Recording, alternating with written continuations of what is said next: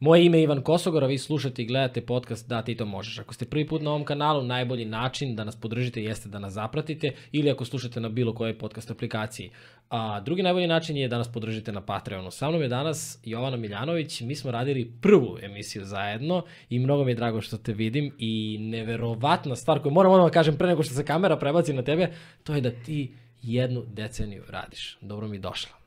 Hvala ti na pozivu već drugi put. Baš mi je zadovoljstvo da sam ovde. Divni ljudi te prate i to mogu da kažem na osnovu mailova koje dobijam kada mi neko kaže slušala sam te ili slušao sam te kod Kosogora na podcastu, baš mi je nekako čast i zadovoljstvo i nekako mi je lepo zato što vidim da to radiš iz srca i kada si počeo i kada smo još pričali o tome pre nego što si počeo, bila ti je čista i namera i nekako si doneo odluku i znala sam da će to da samo ide od tada, da jednom kada si presekao i da je to to. I tako i meni bilo, da, deset godina je prošlo od kada sam započela blog, bila je to 2011. godina i smešno je što se blog tada zvao Peraspera d'Astra, preko trnja do zvezda, kao i moj omiljeni latinski citat. I uh, ono što je interesantno je da postoji dalje neki ljudi koji me prate od tad što mi je fascinantno, jer sam ja potpuno druga osoba u smislu kao i svi, menjam se na ono nedeljnom nivou, mesečnom, godišnjem i fascinantno je da smo odrasli zajedno. Znaš, kao i neki prijatelji koje mnogo voliš iz detinstva, ali nekako ne viđeš se više toliko s njima, možda više nemate iste vrednosti ili ne idete u istom smeru i nekako je prirodno da kako rastemo i svako gradi svoju porodicu, imaš nekako manje vremena za te stvari. I onda mi je zaista velika stvar što neki ljudi pričaju sa mnom i dopisujemo se već deset godina. Da, šta misliš, šta se nije promenilo kod tebe za svih ovih deset godina? I dalje se ložim na biznis, i dalje sam ložana, i dalje to volim, i dalje sam kao dete za to, i nekako radujem se tome i mnogo sam zahvalna za to što sam i dalje u igri. Mm -hmm. Mislim, nije da sam sumnjala da ću, bi, znaš, da ću da ispadnem, ja to volim prosto. Ali svega više volim. To je ono što nisam očekivala. Očekivala sam da kao u jednom trenutku će možda da mi dosadi ili ne znam ću nešto drugo da radim ali nije. Zaista ovo volim, ovo sam ja. I baš sam pričala s jednim prijateljem koji je psiholog i on mi je rekao šta misliš da ćeš raditi za pet ili deset godina? Ja rekao isto, brate, isto. Možda na engleskom, možda na francuskom, ali isto. Mm. Suština je ista. Samo se promenila i forma i način prezentacije i sve, jer zaista većinu novca koji zaradim ulažem nazad u biznis i to je moje pravilo od 2011. Mnogo mi je važno što sad zaista poslednjih tri godine imam tu privilegiju da plaćam ljude koji mi pomažu i koji su mnogo bolji od mene u tome što ja ne znam da radim, znaš, kao design, development, eh, da vode Facebook reklame, mislim, to znam da radim, ali me mrzi. Ima tih stvari koje znam i mrzi me, ima tih stvari koje ne znam i morala bi da učim. I to ne bi bio problem, ali zašto bih sada učila kad eh, ne moram, mogu da platim, a na početku sam morala ili da naučim ili da trampim, jer nisam imala pare do 2000 15. 16. da uložim ozbiljnije u smislu website, design, development. Iako to nije nešto što moraš, znaš, ti to radiš jer je lepo da to imaš i zato što ljudima koji čitaju tvoj blog, ako pišeš blog kao ja, njima to znači. I ja isto više volim da provedem vreme na lepom blogu nego na nekom onako suvom. Da, da. I više volim na podcastu kad je kao tvoj, da je sve lepo sređeno i background i boje i opis u videu, znaš, prosto mi je prijatnije. Tako da su to neke investicije koje radimo, vremena, energije i para I to znači ljudima koji nas čitaju, slušaju ili gledaju, zato što vide da nam je stalo da njima to bude ugođaj. Iako realno kao što ti sad kad si krenuo nisi odmah od toga imao prihod, tako ni ja. Ja sam od 2011. pisala iz srca, do 2016.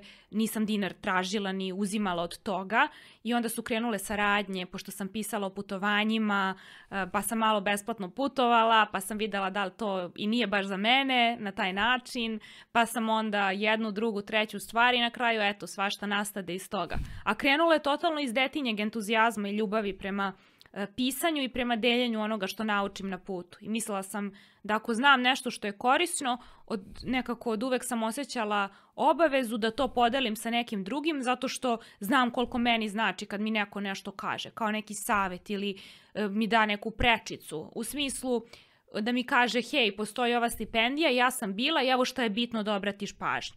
To možda nije nešto što je sad ne znam koliko veliko, ali meni je to jako važno, zato što pokazuje e, to da ja verujem da se znanje deljenjem umnožava i da kada ja nešto dam, ja mogu samo da dobijem. I dobijem uvek više. I to je čisto uverenje, to nije univerzalna istina. To je kao, Jovana misli da je to tako i Jovani se to onda dešava.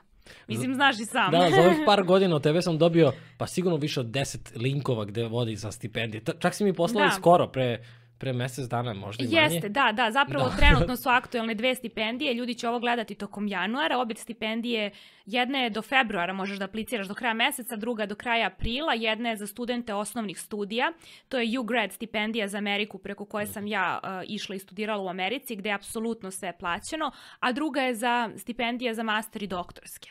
Tako da e, skupljam te informacije i delim ih i dalje onako vrlo posvećeno, jer kao što kažem, 10 godina je prošlo i istu stvar koju sam tad delila, to je kako da odeš u- Ameriku da studiraš besplatno.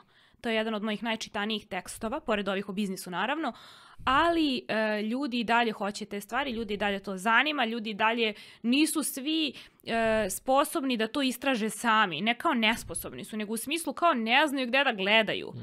I meni dalje prijatelji kažu gde ti to sve nađeš. Ja rekao pa pratim Facebook stranice svih ambasada, aviokompanija i tu se informišem za te neke stvari koje prosto ne možeš, znaš, gde da nađeš, šta da pretražuješ na Google da bi kao besplatno putovao, kapiraš, kao kako besplatno da putujem, naći ćeš tonu blog postova. Ali ja sam pratila sajtove ambasada i tako sam saznala za Austrian Airlines Global Blogger Challenge, gde sam pobedila, pa onda Wow Air Island Challenge, gde sam pobedila, pa je onda bio uh, Thai Air challenge, sve to na fejsu sam videla, aplicirala isto kao svi iz celog sveta i dobila sve to. Tako da u tom smislu, zašto neko veruje da to nije moguće za njega ako jeste za mene? Ja nisam ništa posebno tu uh, radila, mislim, dala sam svoje ime, prezime i napisala priču, kao što su i tražili.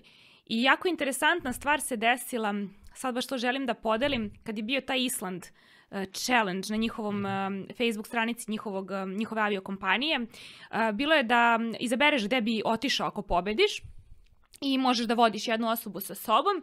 I ono što je bilo jako simpatično je što su oni zapravo izabrali dva pobednika. A evo zašto. Pobedio je prvo jedan čovek koji je pobedio ne znam zašto, mislim prosto nisam uh, gledala, znaš kao u smislu šta sve će biti, uh, ulaziti u to da neko pobedi, ali onda su se meni javili na mail da mi kažu da ću ja dobiti nagradu zato što je najviše ljudi došlo sa mog linka. Zato što sam ja podelila na sve moje prijatelje da oni apliciraju za taj izazov i bila sam u fazonu na blogu, na newsletteru, na Instagramu, na svuda, svuda, u re- realnom životu, na teretaniji i bila sam u fazonu ljudi aplicirajte, znači mnogo bi bilo cool da neko iz Srbije ode na Island. I kao uopšte ne sa agendom da će najviše ljudi kliknuti na moj link, link koji sam im ja slala, jer to nije bilo uopšte u opcijama, niko nije rekao ako najviše ljudi klikne na tvoj link ti dobijaš. Kažem, znači prosto je bilo izabraćemo jednu osobu, izabrali su tog čiku i starijeg čoveka, ima jedno 60 godina, i mene, zato što je najviše ljudi kliknulo na moj link, jer se ja nisam plašila da su mi druge konkurencije, nego sam bila u fazonu, bit će kome je suđeno, ja hoću da podelim da svima bude strava. Nek dobije neko i nek neko iz Srbije ide na Island. I tako sam podelila godinu dana kasnije za Maldive jedna žena koja me prati je dobila. Wow. Da. A i tu sam ja igrala, ali hoću da ti kažem, očigledno je njoj bilo suđeno. Tako Da, da, da, da. zato ne verujem u to, ne možeš da mi uzmeš ništa što mi pri, meni pripada, ne možeš da mi uzmeš ništa što je u meni, ne možeš da mi uzmeš partnera ako mi pripada. Znaš, u smislu, ako mi uzmeš, onda mi više ni ne pripada, to nije moje. Znanje ne možeš da mi uzmeš, možemo samo da podelimo i da imamo više i ti i ja. I to je neki mindset koji mene stvarno loži i vozi i uvek mi je čudno kada nešto tako podelim na newsletter i ljudi odgovore i kao, wow, kao, cool što si to podelila i što misliš da kao uh, te ne ugrožava što ćemo više nas da aplicira. Ni ne pomislim o tome. Samo pomislim o tome, evo je prilika. Želim da je neko uzme. Želim da neko iskoristi. Ali ti imaš tu neku, izvini sa što sam te prekinuo, ali ti imaš tu neku prirodnu, kao, bar ja tako osjećam sa tvoje strane, uh, podršku i na tvom YouTube kanalu si objavila video gde si rekla da podršku možeš da daš u vidu novca, u vidu Vremena, vremena energije, energije. da. saveta, zagrljaja, čega god, čokoladice, I- uličnom sviraču. Zašto mora da, Da. bude uvek keš? Ali to kod tebe ima tako neku uh, pokretačku snagu, da, mislim, ovaj podcast, sećaš se, to ja stalno pričam, Da. ali to je to bilo, stvarno, mi smo sedeli na ručku, to je bila moja želja koja je bila praćena nekom vrstom, nekom dozom straha, jer je potpuno nepoznato za mene bilo celo to polje, ali kao, kad sam čuo tebe, kao, ma to uradi, ma to možeš, ma idemo, ma to ćemo zajedno, imaš dve nedelje da nađeš sve, snimamo, prvo sam ti gost, ta, ta, Znaš, kao u tom trenutku, sa mene, to, mene si, samom si prešla taj prvi korak. I žene koje su dolazile, koliko je žena u stvari prošlo kroz svoje radionice do sada online Hiljadu, programe? radioni, hiljadu žena je prošlo uživo i online nije još hiljadu. Možda smo na 600 online kurseva prodatih. Od, ali o tome ti pričam, svi ti ljudi, sve te žene su dobile to, taj prvi korak koji je najteže, to je da kreneš, da se Pa upustiš, jesu, svi, dobiješ svi podršku. su to dobili, moji prijatelji, ali d- 2% je primenilo. Nije to dovoljno, Mhm. nažalost. Zato što m, postoje mnogo... Pa ovo je kontra kompliment, hvala. Da, ne, moram to da kažem, zato što je to jako važno prvo da znamo svi mi koji smo u online biznisu, da 2% ljudi zapravo kada kupi nešto to i primeni. Što je tužno, naravno da svi mi to kreiramo i mi e, nismo izmislili toplu vodu, mi smo vežbali i videli da nešto radi i prodajemo to, delimo to znanje i drugi ljudi onda to kupe i možda misle da je dovoljno što su kupili, kao kada uplatiš teretanu. Ali nije. I onda tu ulaze sve one stvari koje e, su mnogo važne, kojima se ja ne bavim, jer ja nisam psiholog, ja svima preporučujem psihoterapiju stalno, kroz blog post, kroz newsletter, kroz Instagram, zato što Možeš ti da znaš sve alate, možeš ti da čuješ sve što mi sad budemo pričali danas o pet fazi, kako da izgradiš biznis, što je kao pojednostavljeno u suštini, ali ako ti imaš neke blokade u glavi i ne osjećaš se dobro i nemaš samopouzdanje i nemaš tu sposobnost da si rezilijentan, da kada se nešto loše desi nastaviš i nemaš tu sposobnost da ne shvataš stvari lično, Jer juče mi se javila klijentkinja koja kaže, evo, ne znam, e, u januaru ne ide prodaja programa. Pa šta? Ne ide, ok, imamo informaciju povratnu. Znači, menjamo program ili dajemo bonuse ili dižemo cenu. Ili možda spuštamo cenu, možda pravimo drugi format. Znači, nema pogrešnih odgovora, nema ne radi. Imamo povratnu informaciju. Je li uspešno ili nije? Nije, ajmo da menjamo. Nema emocije kod mene u tom smislu za to. Nema, to je čist biznis, to je prosto matematika. Vidiš da nešto ne radi, ako ova čaša, ako ne bi znala kako da pijem vodu i sad probam da je pijem i vidim da ne ide, probat ću na drugi način. Mislim, kao kad si dete pa si igraš ono, ubaciš kvadrat, kock, znaš ono Da, kao... da. Isto je tako. I shvatam tu koliko ljudi to shvate lično i koliko ih to ubije u pojam i stanu. I to me onda uplaši jer ja tu nemam moć. Ja nisam psiholog. I volela bih da više ljudi krene na psihoterapiju jer bi onda otkrili da li uopšte žele da imaju biznis po svojoj meri ili život po svojoj meri. Jer su oba ok. I 2% ljudi na svetu je rođeno da bude preduzetnik. Šta to znači? To ne znači da drugi ne mogu da steknu te veštine, znači da će im biti teže, jer ako neko gradi nešto ne mogu da kažem na silu, ali ako nešto gradi kasnije, a ja sam tako rođena sa tim veštinama i sposobnostima, meni je lakše i imam prednost u tom smislu. Ne u svemu, ali u tome.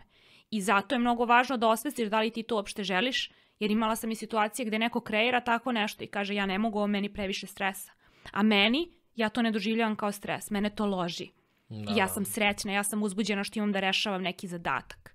Ali i tu ima kvaka isto, sad kad pričaš ja razmišljam, kao meni ni- nijednog trenutka od, od prve sad epizode, ovo je sad 80 neka, peta, šesta, od prve do sada ove, ja se osjećam bukvalno isto pred kamerama i ja kao znam da ću da pričam kao što bi svakako pričao sa tobom ili sa Na bilo kim sa kim god, pričam. da. Tako je.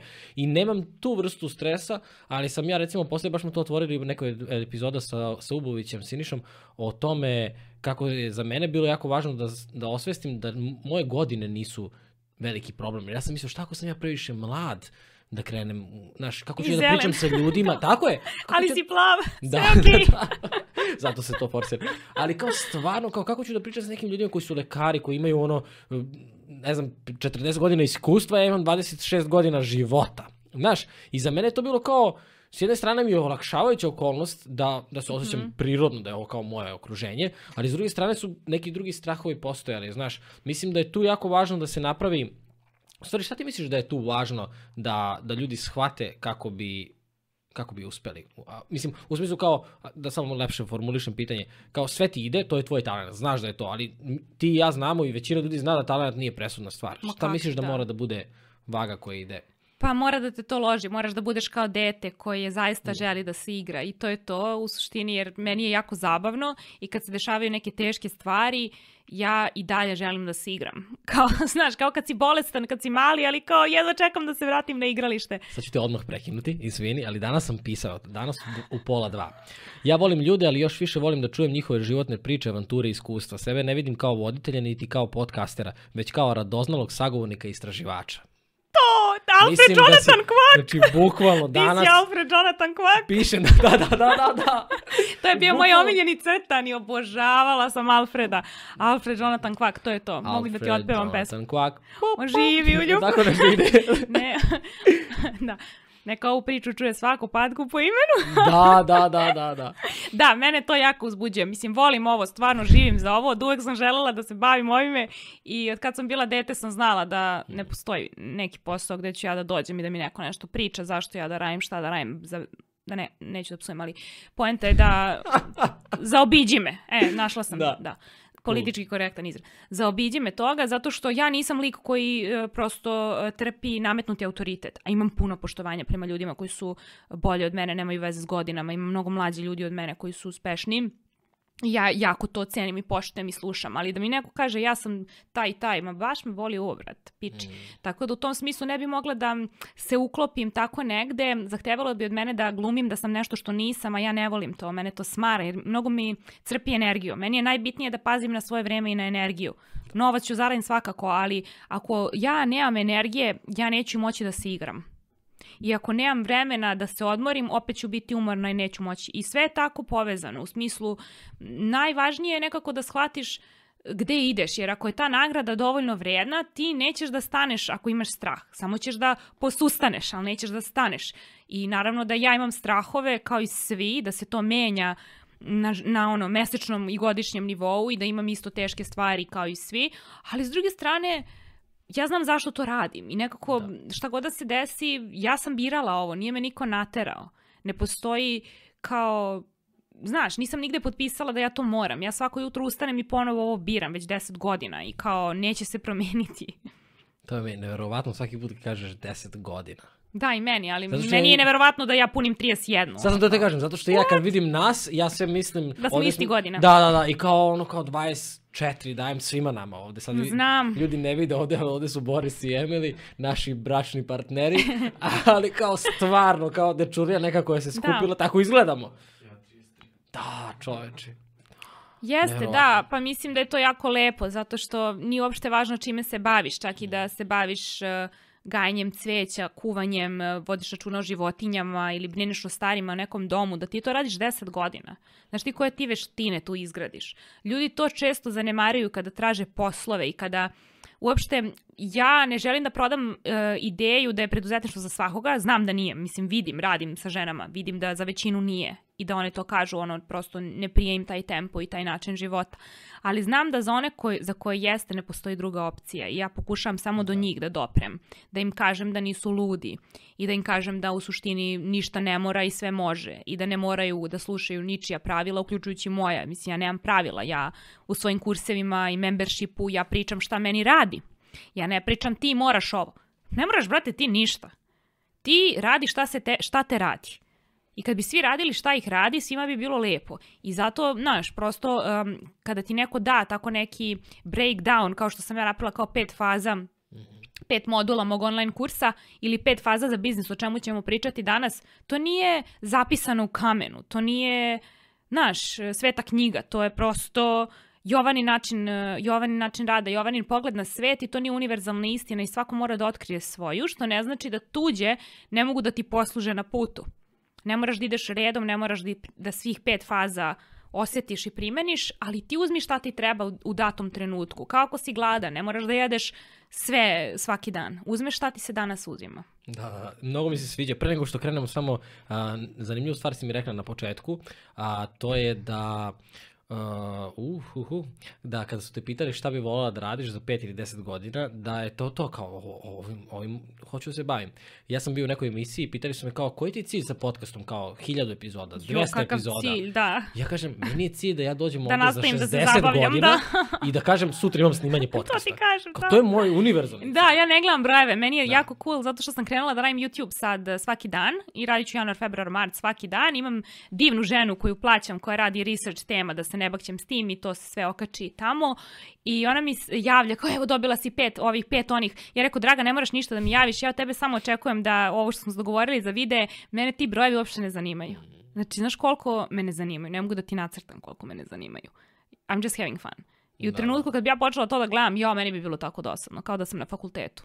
Znaš, kao, i to sam jedva preživela. Meni je podcast kao prva stvar koju sam uradio da nisam se bavio time i onda kad je onaj kvantni skok odjednom došao i kao wow, kao, onda mi je bilo zanimljivo kao sad sam već ponovo opustio, kao nek to ide, nek to ide svojim Ma tempom. naravno. Danas pričamo o pet faza Mhm. kako se stvara biznis. Da. Uh, ovo je nešto što si mi rekla da, bi, da si ti volala, da, da, Da. bi ti stvari volala da si imala... Pa bih, da, mnogo bi mi skratilo nekako. Mhm. Skratilo bi mi put, ali pre nego što krenemo na tih pet faza, ja bih voljela da kažem dve stvari koje uvek ponavljam i nastavit ću zauvek zato što uvek neko sluša prvi put, a to je da nikada ne zaboraviš šta su tvoje životne vrednosti i šta su tvoje metrike uspeha. Šta to znači?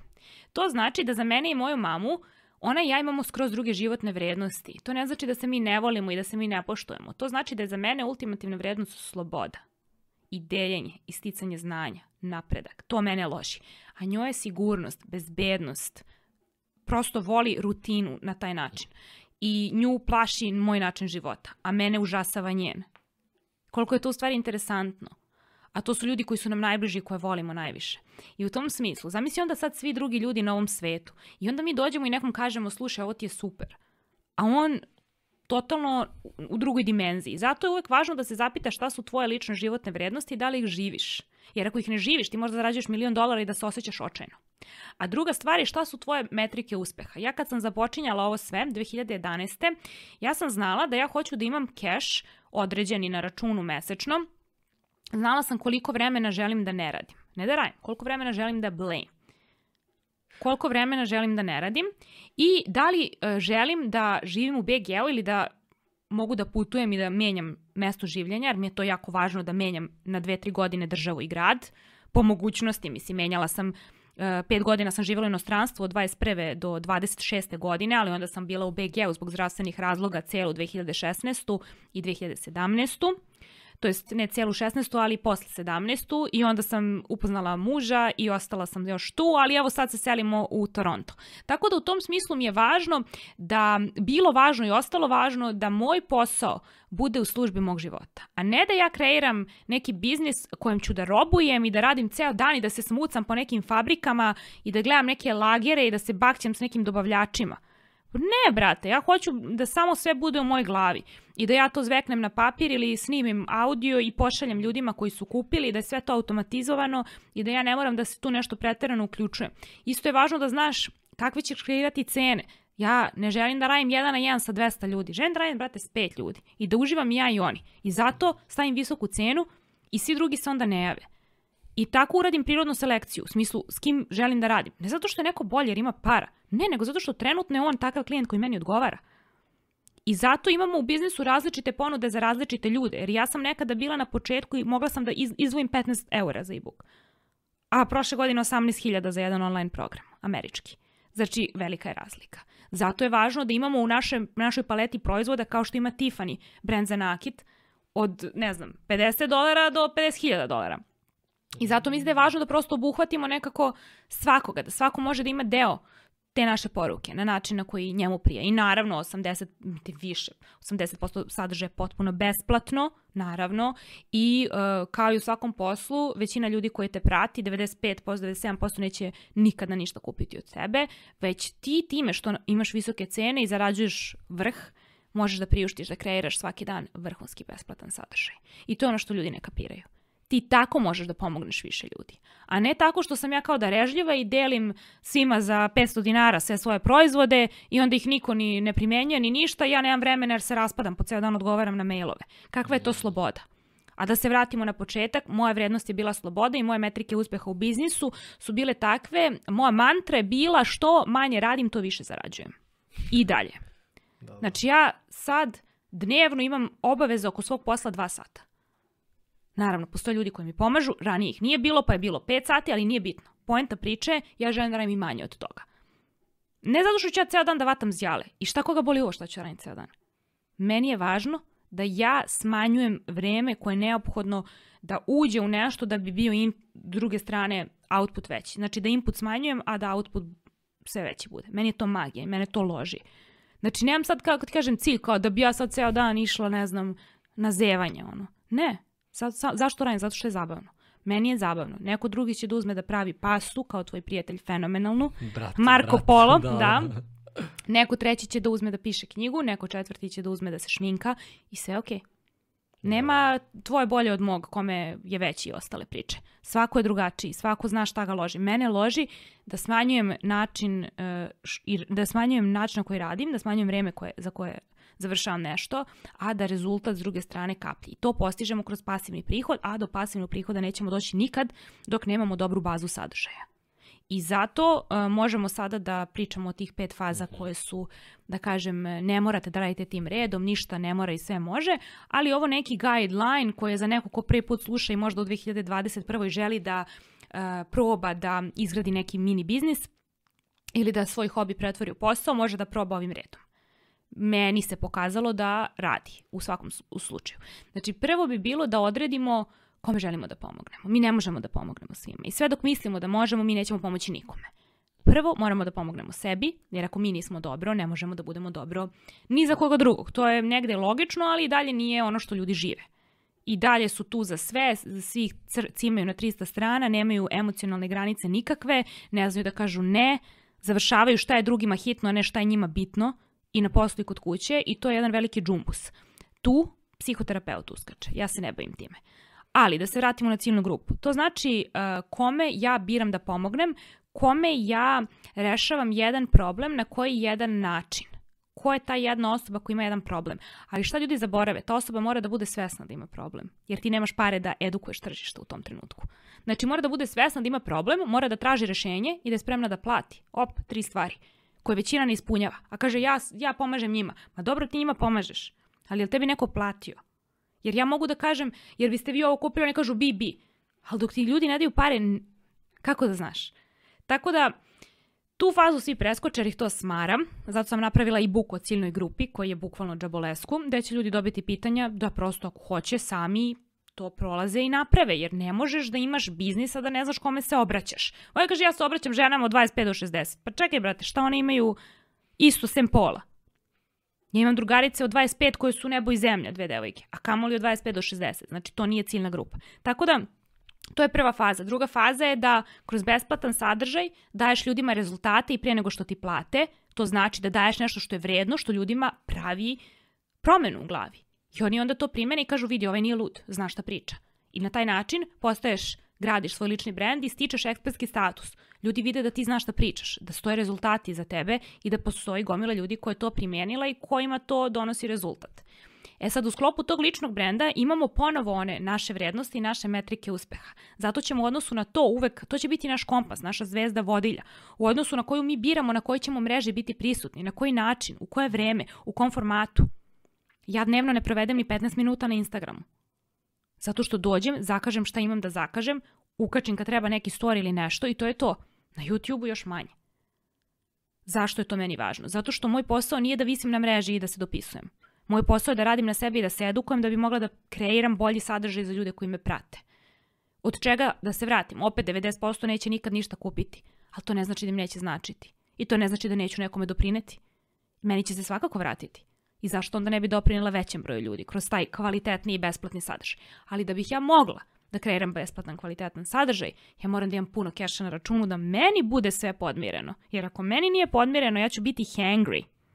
I bit ću nervozna i gladna i ljuta i besna. I kako je onda tebi da kreiram vredan sadržaj kad ja mislim, kad sam ja pasivno agresivna i mislim da ti mene ne ceniš nikako. Znači, opet se vraćamo na ličnu vrednost. Ako nemaš ličnu vrednost, ne misliš, nemaš samo pouzdanje, ne radiš na sebi, ne ideš na psihoterapiju, ti prosto nisi stigao to da izgradiš i ti si onda u dalje u gasu neke žrtve i neke igrice, ja sam dao ovo, oni meni ništa. Mene ne zanima što većina neće nikad kupiti. Ja to radim zbog sebe, jer sam sebična, a ne zbog većine. To je meni nagrada kad neko primeni. Ali ja to radim zbog sebe, jer ja to znanje imam u sebi i želim da ga ispljunem na papir. Znači, pre svega je ta sebična potreba da to podelim, ali stvarno zbog sebe. A onda drugi imaju benefit. A u Srbiji je jako ružno kada je neko kao sebičan. A meni nije. Meni to znači da ti brineš o sebi, da imaš dovoljno za sebe i da možeš da pomogneš meni. Jer ako su tebi pune ruke kesa, a ja izlazim iz supermarketa s tri kese, ti možeš da budeš džentlmen do preksutra, čime ćeš da nosiš nogom. Tako da u tom smislu ta faza građanja ličnog brenda tu ulazi, kažem, naše vrednosti, naše metrike uspeha, naša svrha, naša misija, naša vizija, gde mi vidimo sebe, gde mi vidimo te ljude koji nas prate, gde mi idemo, gde smo pošli. I onda, nakon toga, kroz kreiranje tog sadržaja koji radimo da pomognemo jednoj osobi, shvatamo odjednom da se u tome prolazi, pronalazi stotinu ljudi. Znači, to što ja targetiram žene i što ja pričam u ženskom rodu, sve pišem, to ne znači da meni ne kupuju muškarci, to ne znači da ja ne radim konsultacije s muškarcima. To samo znači da se ja obraćam onome ko je moja idealna mušterija, a i drugi se pronalaze u tome. I to meni skraćuje put. Jer hajde da uzmemo jedan primjer. Ako se meni pokvari WC šolja, ja te zovem, kažem, jer imaš nekoga da mi sredi WC šolju, pokvarila se. I ti kažeš, da, imam, imam, kao baš, kao ne mogu da verujem, kao imam druga koji radi samo WC šolje. Ja kažem, to mi kaži, brate, daj, zovi ga odmah da dođe. I sad zamisli opcija B. Ti kažeš, da, imam jednog lika što radi po kućama, radi i WC, ali radio i nama kuhinju. Ja sam već u fazonu, pa znači, daj mi ovog prvog. Kapiraš? A mi mislimo da ćemo mi time što suzimo ciljnu grupu kao da sebe kao isečemo, kao mi nećemo imati dovoljno keša, kao potpuno pogrešno. Da, da, izvini sam što te prekidam. Nama se stvarno pokvarila veca šolja danas. Ali ja stvarno nemam lika koji radi da, samo okay, veca šolja, okay, tako da nek se javi ako postoji. Či bukvalno daješ kao primjer veca šolja, ovako je E, da, jako koja... smešno. Eto vidiš, to je dokaz da to radi. Pre neki dan sam podelila jednu profesorku italijansko koja mi je napisala, pa meni su ciljna grupa ljudi koji žele da nauče italijanski. Ja joj kažem, pa nije, nije, nije, ne može to da bude. Evo, da, sad ću vam dati primere moje klijentkinja. Evo jedna koja radi italijanski za ekonomiste koji hoće da idu tamo da studiraju. Druga koja radi serbo per italijani. Srpski uči italijani koji ovde kupuju naše firme. Znači, kapiraš koliko mikro niša. Pa naravno da će serbo per italijani pa da će zove nju, a ne ženu koja uči italijanski decu da pevaju pesme na italijanskom i da crtaju. Ne. Da, da. Znači, mnogo je tu u glavi jedan mind gde ljudi ne kapiraju da je to super moć, da je fokus super moć. Zato ja ne, ne gubim vreme i ne volim da gubim vreme na mreži. Ne volim da konzumiram stvari koje me prazne. Želim da se punim, a ne da se praznim. E, to je jako važno. Da unosimo u sebe ono što je hranljivo. I za dušu, i za glavu, i za telo. I da vidimo gde gubimo vreme. Zato što ako mi gubimo vreme, gubimo fokus. Ako se rasplinjavamo i pričamo sa svima, ne pričamo ni sa kim. Mm. I tu onda ulazimo u sledeću stvar, a to je mi imamo ljude koji nas prati, to je naša publika, ali da bismo mi izgradili zajednicu ljudi, to je mnogo više truda, mnogo više ranjivosti, mnogo više iskrenosti, ali ne fabrikovane, nego, nego stvarne, a ljudi nisu veverice, ljudi osjećaju. Znači, možeš samo da na mom blogu pročitaš post, možemo da okačimo odustajanje nije opcija ili dve priče o meni i vama. Tu nema fejka. To je iz srca na papir. I ljudi to osete najviše reaguju na takve tekstove. Ne na tekst o parama, ne na tekst o biznisu, ne na tekst o marketingu, nego o tome. Zato što ljudi nisu veverice. I zato, ako ih tretiramo kao veverice, nećemo imati rezultat. Ne možemo da kačemo generičke karusele, jer svi to rade. Treba da radimo ono što mi osjećamo. Znaš kad bi ja sebi snimala Instagram reel i vrtela guzicom na Instagramu? Nikad. Zašto? Zato što to nije moja ciljna grupa i mene to ne zanima. Ja to neću da radim. Može da bude popularno do prek sutra. Ja da se kreveljim i da glumim klovna. To nije moj posao. Ja znam zašto sam ja i kome služim i pre svega želim sebi da služim. Ali ako ne znamo kome se obraćamo i ne znamo kakav brend želimo da izgradimo, kako onda da radimo kolaboracije sa drugim ljudima, saradnje? Kako onda ti i ja sarađujemo i da jedno, jedno drugom predstavimo našoj publici ako mi ne znamo ni kome mi služimo ni za koga smo mi? Znaš, to je, na primjer, ključna stvar. Kako ćeš ti da rasteš kad si na nuli? Tako što sarađuješ s drugim brendovima. Ali s kim da sarađuješ ako ti ne znaš kome se obraćaš? Šta ćeš da mu kažeš? Hoćemo da sarađujemo, moja ciljna grupa su svi koji hoće da nauče italijanski teško. Kako ćeš da znaš šta da pokloniš ako radiš giveaway? Kako ćeš da znaš šta da pitaš ako radiš neki survey? Ako pitaš ljude da ćete da radimo e-book ili online kurs ili Zoom trening ili da pravimo membership uči italijanski 12 meseci sa mnom. od nule. Znaš, postoje različite forme, različiti formati pro, prodaje našeg znanja. Prodajemo, znači, neke rezultate. Ne prodajemo naše, naše vreme više. Znaš, malo je to prevaziđeno u 2021. Da prodaješ vreme kao čovek, a koji će da umre, izvesno. Pitanje vremena. A ti prodaješ sat. Pa si realan. Prosto, razumeš, kreiraj nešto što ima neku vrednost i prodaj rezultate, a ne sate. Ne možeš da se kloniraš, ali možeš da kloniraš svoj domet. Tako što ćeš da napraviš nešto što je jako vredno i da to samo od sebe dovodi klijente. Ali da bi ti došao do toga, ako ne znaš ciljnu grupu, ako nisi gradio svoj brand, ako nisi davao kvalitetan, besplatan sadržaj koji ljudima daje rezultate pre nego što ti plate, pa što bi ti ja platila? Što bi ti ja platila? I sad onda dolazimo do toga koliko je zapravo e, zanimljivo ako ti želiš u Srbiji da praviš 5000, 10.000 evra mesečno, koliko ti moraš da daš divne besplatne vrednosti da bi 2% konvertovalo i ti napravio toliko para. Meni je to divno. Zamisli koliko si ti ljudi pomogao koje ni ne znaš i koji te ne poznaju. A ti si došao od ovih, ti si bezbedan, ti si dobro, ti si uspešan. Ali ti si pomogao još gomili za koju ni ne znaš, koji nikad neće ni poslati mail, neće ti ništa ni napisati. I negde e, sledeća faza, tek onda sam ja za, za ovu kozmetiku, u smislu za ovo što sad ja ulažem svake godine u redizajn sajta, u fotografe, u videomontažere, u zezancije. To je kozmetika, to je prelepo, da imaš prelep sajt, logo, vizualni identitet, da staviš taj redizajn svake godine. Naravno, pa da imam fizičku radnju, ja bih volela da ta radnja svake godine ima novi izgled, da se ljudi osjećaju prijatno. Ali, ako to radiš od starta, a nemaš pojma kome se obraćaš nemaš ciljnu grupu, nemaš publiku, nemaš zajednicu, džabe, nema ko da dođe da kupi. To ti je kao da izgradiš negde, ne znam, ono, 200 km od grada na planini kao uložio si gomilu para i to je prelepo. Super, ali niko ne zna, niko ne prolazi tu. Niko te nije video, niko te nije čuo, niko te nije preporučio. Džabe. I na kraju, uh, rast, uh, skaliranje biznisa, prelaženje na drugi jezik. Ja to ne preporučujem nikome dok nema situaciju da ima mesečno barem 5000 evra pasivnog prihoda. I onda sa tom bezbednošću i sa tim e, kešom koji može da ulaže u rast na stranom tržištu, kroz reklame, kroz svašta nešto, ja ne bi gubila vreme.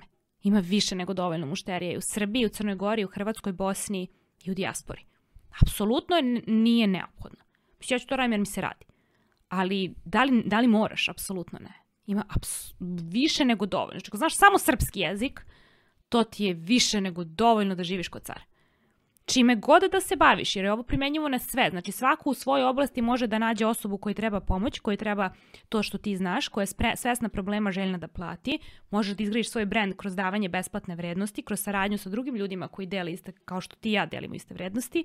Nakon toga da kroz taj sadržaj daješ ljudima rezultate pre nego što ti plate, onda 2% da ti plati, onda da radiš na unapređenju svoje prezentacije, da kupuješ ovako skupu kvalitetnu opremu i daješ bolje i bolje i više i više i tek na kraju da radiš na unapređenju u smislu, ono, da gruvaš pare u reklame i to. A ljudi krenu od toga. Pa šta će ti reklame, nemaš, ono, nisi validirao ideju uopšte. Sad sam baš da te pitam, od, od koje faze obično uh, ljudi kreću? Pošto mm, ljudi... bi bilo mnogo uspešnih ljudi da, da. da svi rade faze od početka. Šta da. misliš, šta odbacuju i šta misliš zašto? Pa mrzih, mrzih, eto, mrzih da sednu, na primjer, mrzih da urade taj moj, da prođu taj moj book, da urade odgovore na tih 100 pitanja. Neće. Što ja da odgovoram na 100 pitanja? Ja znam, meni su ciljna grupa žena od 20 do 50. I tako, znaš, lenjost, lenjost. Da, mm. lenjost mislim da je problem veliki. Lenjost nije uopšte neznanje. Ja imam gomilu neznanja, pa ja nisam znala ništa ovo pre 10 godina kao ni ti, kako si znao za ovaj mikrofon. Te kad si krenuo. Lenjost. Mm. Mislim A, da je to. Kaži mi, tvoja radionica od hobija do posle je tako jasno, kao Da, super je ime. Kad te neko pogleda sa strane, kaže, je, imala je sreće što se prvo setila. Tako meni izgleda kao, da. tako, stvarno, ja sam to, kad, kad sam prvi put pročitao od hobija do posla, sam bio fazonu... Sada ih ima milijardu sa tim imenom, da. da. bode bolje, da neko Jest. razume, znači nešto što voliš Totalno da radiš. transparentno, što ti da. ceo život pričaju da nećeš zaraditi ništa od toga. Sad ću da ti pokažem, da je hobi, tako je. Tako je. Da, ta radionica uživo je bila od novembra 2016. do jula 2019. Zvala se od hobija do posla. Međutim, kad sam odlučila da radim online kurs, znala sam da hoću da ga nazovem drugim imenom i znala sam da želim da radim sa ljudima koji nisu početnici i koji nemaju hobi, nego žele biznis. Drugi je mindset. Zvuči kao mala razlika, ali je za mene nebo i zemlja. Ja ne volim da radim s totalnim početnicima jer mi je dosadno. Ja volim da radim s nekim ko mi dođe i kaže, slušaj, ja radim ovo. Hoću ovoliko keša i hoću, imam ovoliko vremena da dam na nedeljnom nivou. To su sve žene s decom. Niko nije ono sedim i vatam zjale i čačkam nos. Znači imaju obaveze, imaju odgovorne poslove, porodicu, decu, mislim oni, ono su, slušaj, Jovana, jer ovo moguće, jel ti ovo realno zvuči, šta je moguće, kojim tempom, šta procenjuješ da je za mene realno u sledećih šest meseci, godinu dana i prosto kažu ja želim da dam otkaz ili ja želim da nastavim da radim, ovo mi je. Znaš, ali su e, vrlo svesne sebe i svesne su odgovornosti koju preduzimaju kada kupe moje usluge ili proizvode. I to je meni jako važno. Ja želim da radim sa ženama koje su ono posvećene tome da to urade a ne koje su ono in, zainteresovane. Puno imaš da kupiš toga ako si zainteresovan. Mene to smara. Ja ne volim da radim sa ljudima koji su samo zainteresovani. Za njih je besplatan sadržaj. Mm -hmm. Nema, nema razloga da uplaćuju bilo šta. Odakle ti ideja ovo što svesti u besplatnom sadržaju? Jer nekako kod nas, ovo sad pričam iz, mm -hmm. iz razgovora sa nekim drugim mojim drugarima, prijateljima, kad god nekom pomeneš ovde kao daj više besplatno, svi imaju se kao pa iskopirat će me drugi. da, da, Ili šta ako dam previše, onda više neće biti zainteresovani da kupe. Da, pa ne znam, Kako nikad... se stvara taj kontraefekat u tvom slučaju da. je to jako vidljivo po rezultatima pa, i brojevima? Pa da, i zato što, brate, to radimo od 2011. Znaš, kao do sada, mm -hmm. da je to bila strategija da dođem do para, već bi prestala 2016. realno. Mm -hmm. uh, volim, volim to i tako sam vaspitana. Mislim mislim da je vaspitanje u kući šta vidiš. Kod mene nikad nije bilo o, nemoj da drugoj deci daš bombone, igračke, čuvaj najbolje za sebe. Uvek je bilo u fazonu mi imamo, sad će svi. Na primjer, moj tata je radio uh, dosta, uh, uvozio iz Nemačke, pošto se bavio bušilicama i alatima, Bosch i tako to, dosta brendova iz Nemačke. I on je uvek donosio neke zanimljive milke koje mi nismo tad imali 90-ih, Nutellu, što je tad bilo kao wow. I moja mama uvek spremala palačinke za svu decu iz uh, zgrade, koji mi smo bili napolju, mi se igramo i ona spremi za sve. I nikad nije bilo kao mi imamo Nutellu, a drugi ne, sad ćemo mi da se davimo Nutelli, gledajte nas. Znaš, uvijek je bilo kao daj šta možeš nije bilo kao drži to za sebe. Znaš, e, dok, na primjer, vidim da je u nekim drugim kućama bilo kao ono najbolje za sebe, sačuvaj kao da drugi, nemoj da kažeš da podeliš, nemoj da podeliš drugima kao da ti ne ukradu ideju. Meni to bilo uvek smešno, pa ne možeš ti da mi ukradiš ideju kad je to izašlo iz mene. Mislim, ti da radiš, evo, ima sad hiljade od hobija do posla. Ali, brate, žene koje kupuju od mene, one znaju zašto kupuju od mene, ne možeš da budeš ja, pa ne znam šta da uradiš fizički je nemoguće da mi iskopiraš, jer ti radiš nešto što sam ja već uradila i završila. Ja sad već radim na nečemu što će izađe sledeće godine, a ti ne znaš šta je to. Pa kako onda možemo da iskopiraš? Ja ne verujem u to. Meni je to potpuni ludački koncept. I onda mi je smešno, kada kaže vidi ova iskopirala ovo, ja sam da ste svi vi ludi. U, u kom ste vi filmu? Kakvo kopiranje? Živimo u 2021. i sve već postoji. Znaš šta ne možeš da iskopiraš? Dušu, razgovor ovaj. Ne može ovo da se odglumi, ne može emocija da se fejkuje. I zato smo bezbedni. Zato što drugi ljudi nisu veverice, oni osjećaju. I u tom trenutku, ja kad to znam, imam tu svest, ja se uopšte ne cimam. Može da pričaš šta hoće ko će. Ja sam mirna jer ja znam kome ja služim i šta ja radim s njima i šta oni rade sa mnom i kakve rezultate postižemo. Ti možda ispričaš ne znam kakvu priču, ali neko dođe na moj blog i pročita jedan tekst, njemu je jasno koliko ima sati ti kad otvoriš usta, što kaže ovaj divni čovek Les Brown, once you open your mouth, you tell the world who you are. Tako da pazi šta pričaš. Sve, sve ljudi osjećaju. Ne čuju sve, ali ne moraju, da, ne moraju da čuju. Ne moraju da pročitaju. Ja ti se kunem, ja verujem u to da ljudi ni ne čitaju šta vide na Instagramu. Oni osjećaju s kojom si energijom ti to napisao. Šta si hteo da kažeš, kakvu si emociju poslao. Da li si tu da ih podržiš, da li si tu da ih podstakneš, da li si tu da ih šutneš u dupe. Iz ljubavi, znaš ono, kao roditelj koji te prosto voli, koji je autoritet i koji je u fazonu, volim te, ali ne možeš ovo da radiš. Prosto stop. I u tom smislu, zato smo bezbedni. I zato mi je žao što, što neko živi u tom mentalitetu, što kažu amerikanci, scarcity mindset, gde kao nema dovoljno za sve. Šta? Kako? Znaš, kao, kako je moguće da u to veruješ u 2021. Da, da, da. Pa dobro, kod nas je malo to, ja, ja sam u Americi naučio na taj, na taj ritam gde stvarno on daju mnogo i ti onda iz neke kao, ja, ja sam kupio Garyvi knjige zato što sam gledao Tako njega je. na YouTube-u kao. Da. I, njegova knjiga, on kaže, ovo je knjiga gde je neko prepisao sve što sam ja pričao na YouTube-u. I ti si opet želao ja da podržiš. Tako je, a pritom znaš da je čovjek multimilioner i da ga briga za tvojih 15 dolara, ali ti imaš, uh, zato što si ljudsko biće, želju za reciprocitetom. I to je meni čarobno čarobno. Mislim, meni neki od najboljih klijenata su došli tako što je preporučio neko ko nije nikad kupio ništa moje. Zamisli koliko je to fenomenalno. Koji je to efekat? Da. I onda ti imaš ljude, šta bi rekla za ljude koji su, koji bi savjet u stvari dala ljudima koji su na početku e, koji razmišljaju da li je preduzetništvo nešto oni tu osjećaju, ali su im svi pričali godinama, nemoj da se izdvajaš, nije to za tebe, nađi siguran posao, zaposli se u firmi, da, da imaš markicu, prevoz. Ne znam šta je markica, ali dobro. Pa ono kao da prevoz. Aha, ja bus plus. Živim, živim van Beograda. A, pa bus plus, da imaš kao, bus plus, dobro. Mi to zovemo markica. Jasno, sela, ali stale, old school, old school. da. Šta bi rekla kao, koji, koji misliš da je savjet neki uvodni u ovu celu priču? Znam da si malo rekla da nisi, ne radiš sa ljudima da. koji su zainteresovani, da. nego sa ljudima koji žele da rade. Ali, ajde sad, pošto većina... Pa ja bih ih savjetovala da probaju na sitno. Mislim, danas možeš da izmisliš bukvalno šta hoćeš da radiš i da staviš to na Instagram i da vidiš da li nekog zanima. Koga ne zanima, menjaš dok ne ubodeš. To ti je bukvalno kao da imaš ključ, izvekećeš po vratima i kao ček da vidim jer ovo beše od podruma ili od, uh, ne znam, ulaznih vrata. Prosto probaj pa vidim I ako se isfrustriraš u tome, onda ovo nije za tebe. Mora da te to loži, znaš. Ne možeš ti, ako je odgovor ne, a ti onda kao, o, idem da plačem. Ne, meni ako je odgovor ne, ja sam u zonu, šta rada uradim da bi bilo da? Mhm. znaš, kao, prosto zabavlja me. Osjećam se kao da je igrica. Ne osjećam se kao da je pogrešan odgovor, sad ćeš da umreš kao Super Mario, neš ono. Ne, nego se osjećam kao idemo dalje, zabavno je. Ne može, ma hajde.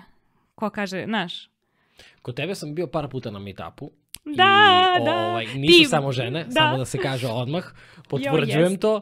I ovaj, zaista je fantastična energija. Da. I žao mi što sad... Sad ne može. Pa bio je da. onaj, u, kad prošle godine sto i nešto žena je bilo u klubu književnika uz fenomenalnu muziku naše, moje drugarice Sofije Knežević Jazz pevačice koja je magična i zaista sam bila uh, oduševljena da su sve žene došle i da je takva bila energija i Mislim, meni je to ludo, znaš, potpuno mi je ludo da imamo takvu jaku zajednicu koja je ono... Koliko dugo držiš meetupove ti već? Pa tri godine. Nisam od početka, nisam od početka, tek sam od 2018. recimo. Mm -hmm. Ne, 17. Da.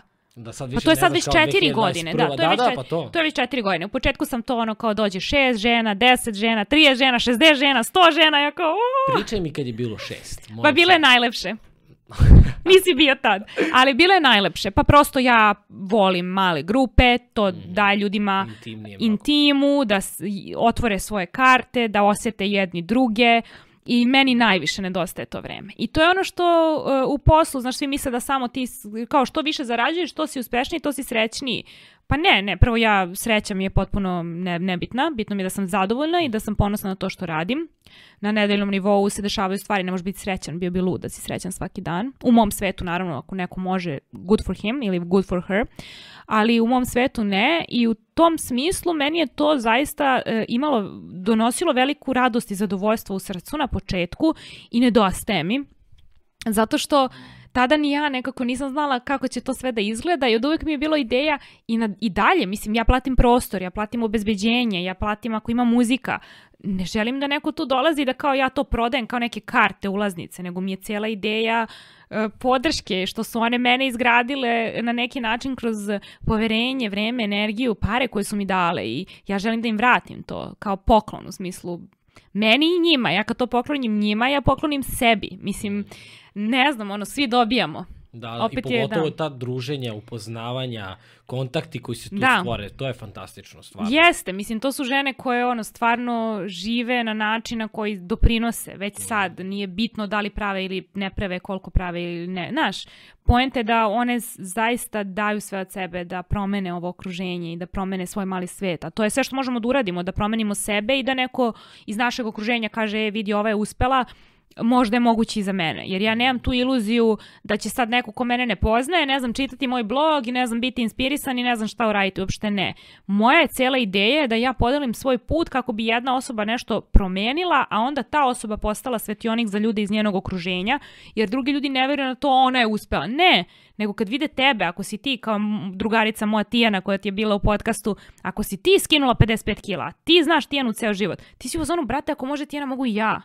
A ne ako može Jovana ili Mirko ili Ivan. Znaš, drugačije je. Moraš da vidiš primer ko, koji je za tebe realan i da ti onda pomisliš ako može on, mogu i ja. Jer ja nisam za nekog e, realno u smislu ne poznajem, ne znam nema povezanost sa mnom, ali ima sa svojom drugaricom. Ako je ta drugarica bila na mojoj radionici, na mom meetupu ili kupila moj online kurs i uradila nešto, ona priča onda tim ljudima. I to je onda tako kako se talas širi. Znači uvek moramo da budemo sebični, da prvo sredimo sebe, A onda da delimo zaista bez agende, jer samo tad možeš da deliš srećno. Jer da ja krenem da delim i da ja sad krećem biznis i krećem kad će povraćaj, kad će povraćaj. Nikad, brate, s takvom energijom, nikad. Ako ti deliš i slušaš i osluškuješ i kao kako mogu više, kako mogu bolje, kako mogu bolje da vam služim. Ljudi su u fazonu, brate, ti si super, daj da nešto kupim. Znaš, sve to uh, ljudi osjećaju. Zato kažem, ne možeš da se plašiš ničega u, u smislu feedbacka, jer ljudi osjećaju energiju. Nije čak čitanje reči, nije čak gledanje fotke, nije čak slušanje videa.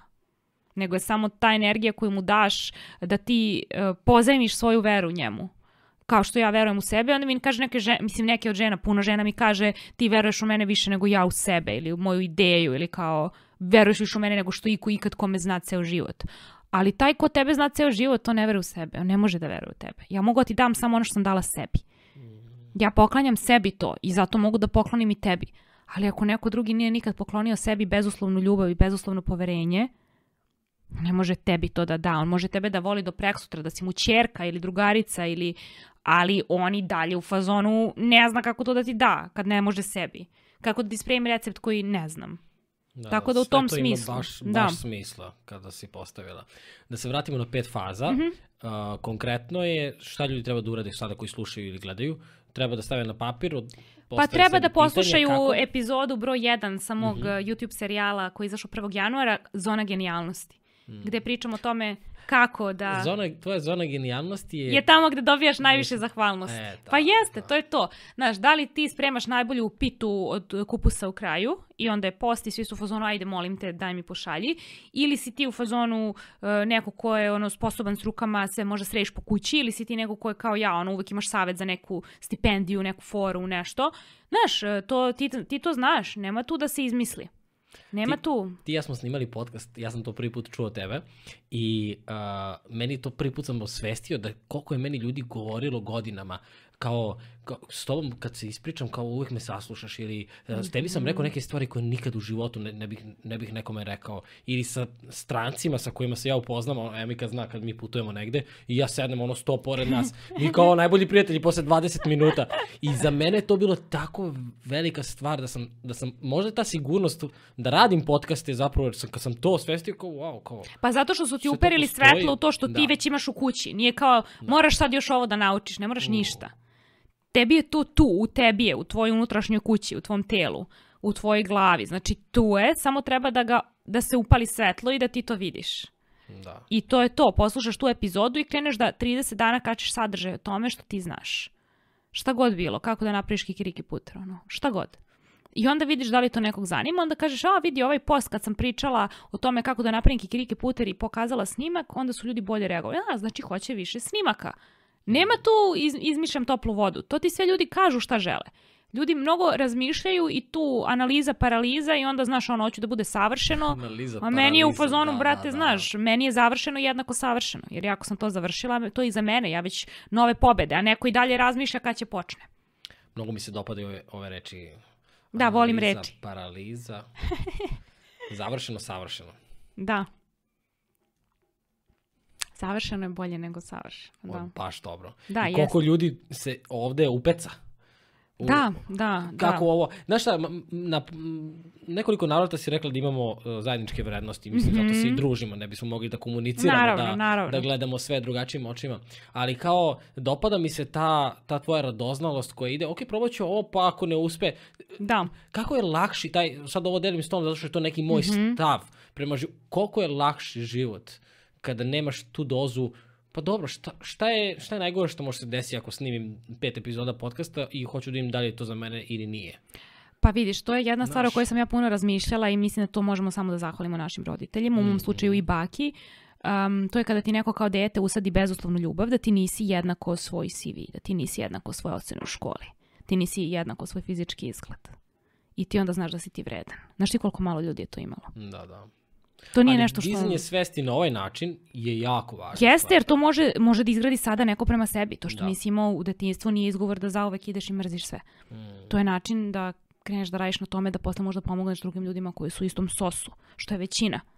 Jer ako, ja sam imala drugaricu uh, u osnovnoj školi, jedna od najboljih đaka. Nju je mama terala da posle svakog kontrolnog i svega zapiše na papiru ocene od svih nas. i prebije je ako ova ne donese.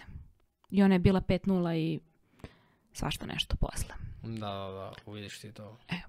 To, to je velika razlika. I sad zamisli onda koliko je nama lako da failujemo. Jer ti znaš da to nije jednako ti. To je neuz, ja nisam neuspeh ako sam napravila neuspeh.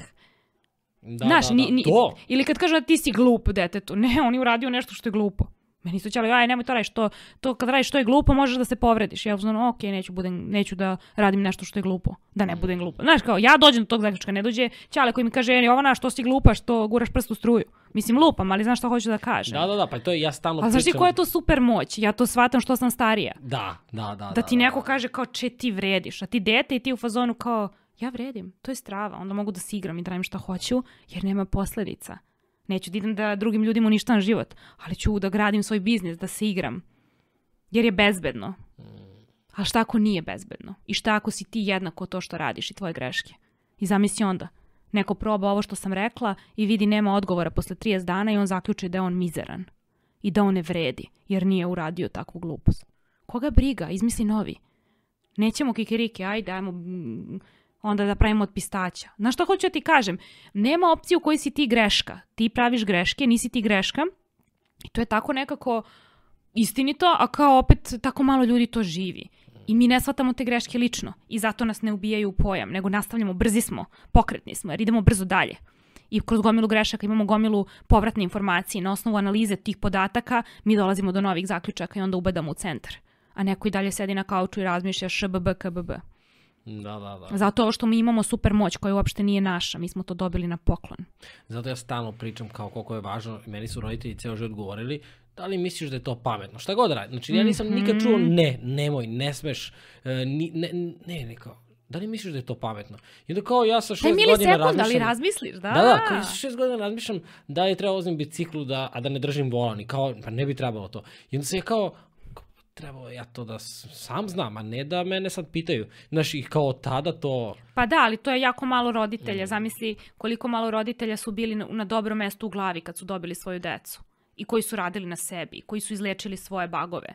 Većina je ono u fazonu, a desilo se, ajmo dalje, sledeći, piči. Ovaj će vaspita manje, stariji će vaspita manjeg, znaš. Kažu da smo žrtve roditelja, svojih roditelja, su oni žrtvi svojih roditelja, su oni Tako žrtve... je, zato je naša odgovornost da, promenimo krug. Nijedan roditelj nije savršen.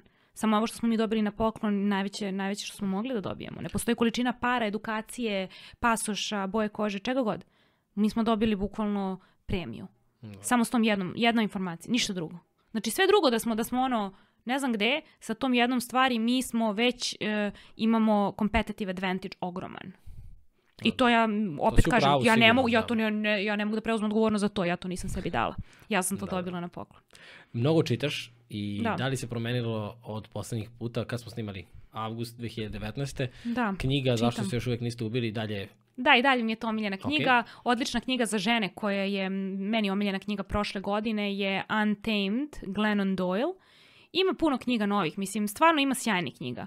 I nešto šta na god, našem jeziku, šta bi preporučila sad ovako? Uh, pa nisi da je prevedeno mogu da prevu- pre, e, preporučim Atomske navike od Jamesa Cleara, a da je baš na srpskom, da je napisano na srpskom, ja sam poklonila i Borisu knjigu od pašnjaka do naučenjaka Mihajla Pupina, zato što njegove životne vrijednosti i kako on opisuje kroz tu knjigu e, koliko je važno u ljudskom e, biću da bude izbalansirano, da bude i fizički aktivan i umno i koliko je u stvari fenomenalno to što je, šta je on sve uradio za našu zemlju i u svakom smislu, ne samo naučnom, ja ovog više gledam kao čovek.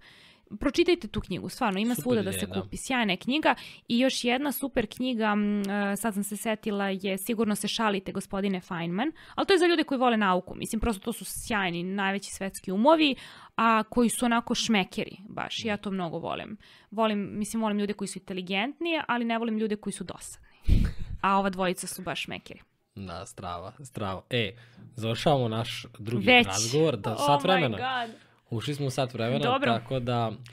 Hoćeš Hvala neki savez za kraj? Da, hvala nešto? ti, hoću. Da, god? a, ja iz srca radim za sebe jednu stvar ovog januara, pošto je moj 31. rođendan.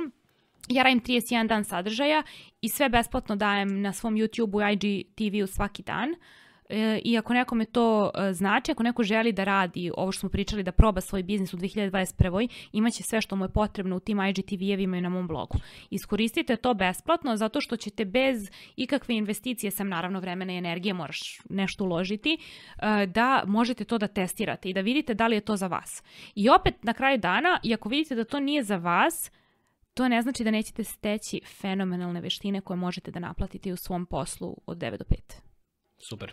Strava, strava. Mnogo Hvala. ti hvala na razgovoru, mnogo sam srećan svaki put kada pričamo, Ja, a duplo sam srećniji kada snimimo, zato što znam koliko će ovo ljudima biti, biti Da. korisno i Nadam kako se. je ljudima važno. I ti i ja se vidimo ponovo, uskoro, kad Tako god je. ovde su ti vrata uvek otvorena, tako, Tako je. da uvek si dobrodošla. hvala.